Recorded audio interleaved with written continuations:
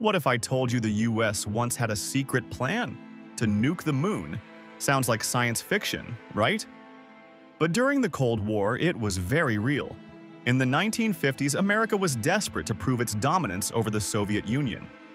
After the shock of Sputnik, US military scientists came up with a radical idea detonate a nuclear bomb on the moon.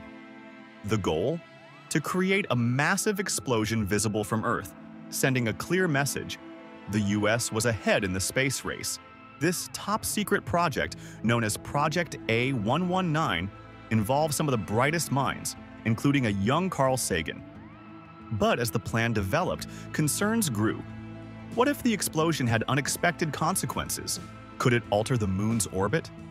Could the radioactive fallout drift back to Earth?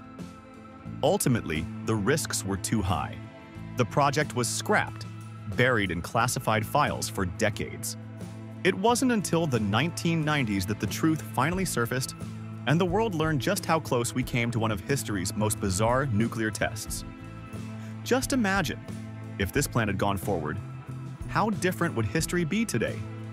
Would we be looking up at a scarred, nuclear bombed moon